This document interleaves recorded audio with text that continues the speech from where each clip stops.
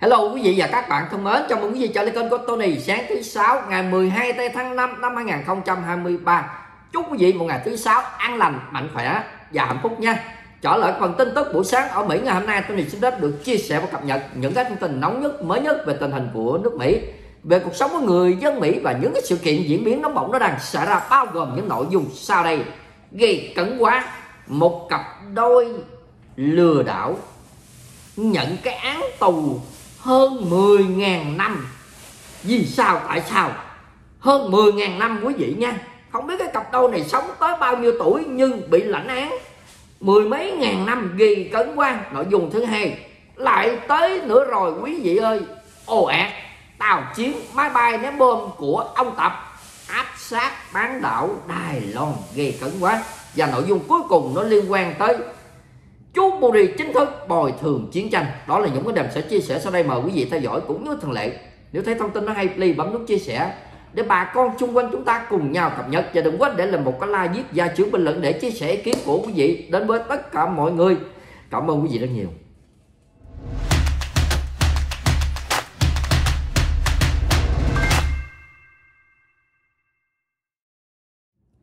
Sau đây mình sẽ đi vào cái nội dung thứ nhất tình hình eo biển Đài Loan. Trong suốt thời gian vừa qua, ông tập ổng cứ lâm le lắm lét cái eo biển này lắm rồi quý vị nha. Và ổng thèm lắm rồi, và không biết bao giờ ổng mới ăn cái miếng thịt béo bở này đây. Đây, lại một lần nữa, vào ngày hôm qua 12 máy bay ném bom, năm tàu chiến của Trung Cộng đã ồ ạt áp sát bao dây eo biển Đài Loan vào lúc 6 giờ sáng ngày hôm nay lực lượng vũ trang Đài Loan đã phát hiện ra và đang theo dõi và tung ra máy bay tàu hải quân hệ thống phòng không tên lửa rầm rộ để giám sát những cái hành động này của Trung Cộng.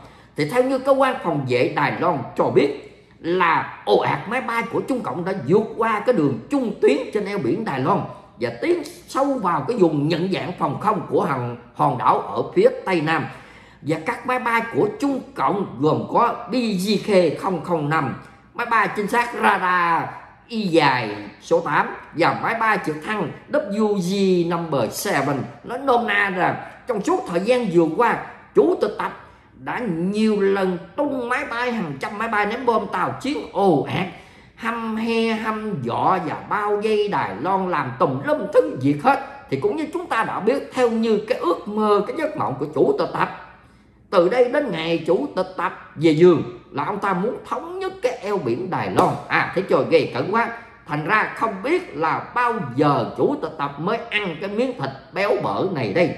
Nhưng nó đã làm cho eo biển Đài Loan dậy sóng ngày hôm qua quý vị nha. Và đó là cái nội dung thứ nhất. Bây giờ mình sẽ đi vào cái nội dung thứ hai. Chú Bori chính thức bị bồi thường chiến tranh. Đây.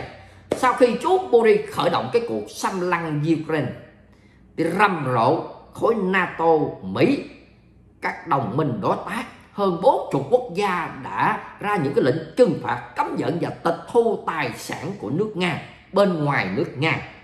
À và tịch thu luôn những cái tài sản của những cái tài Việt Nga mà đã hỗ trợ cho chú Buri trong cái cuộc chiến này. Ok, rồi, trong thời gian vừa qua, châu Âu, Mỹ đã lấy được rất là nhiều tài sản của chú Buri. Nhưng đây vào ngày hôm qua, lần đầu tiên Mỹ đã dẫn đầu. Đây, vào ngày hôm qua tại Washington DC ông Merrick Garland, ông này là bộ trưởng tư pháp của đất nước Mỹ, lần đầu tiên đã cho phép chuyển tất cả tài sản tịch thu được của nước Nga, của ông, của các ông tài Việt Nga, lấy đưa cho Ukraine để mà bồi thường chiến tranh.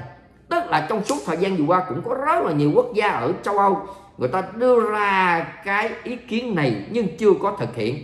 Bây giờ Mỹ là quốc gia đầu tiên thực hiện cái điều này, tức là những cái gì mà tài sản của chú Buri mà châu Âu, Mỹ, NATO tịch thu được sẽ bán và lấy hết tiền bạc của cải đó, đưa cho Ukraine để mà xây dựng lại đất nước. Tại vì trong suốt một năm mấy vừa qua, chú Buri đã tàn phá đất nước Ukraine. Hàng triệu triệu người đã bỏ của chạy giặc hàng triệu người vô tội đã chết vì những cái quả tên lửa của chú Buri và các thành phố trong đất nước Ukraine, nó đã bị giống như là một ngàn năm về trước, đó là cái thời bình địa đâu quý vị ơi. Thì đây cũng là một cái thông tin giật gân, giật cốt cho chú Buri tại vì Mỹ đã chính thức làm cái điều này rồi, quý vị nhé rồi bây giờ mình sẽ đi vào cái nội dung thứ ba. Nó gây cẩn quá đây. Nó liên quan tới cái chuyện lừa đảo nào quý vị.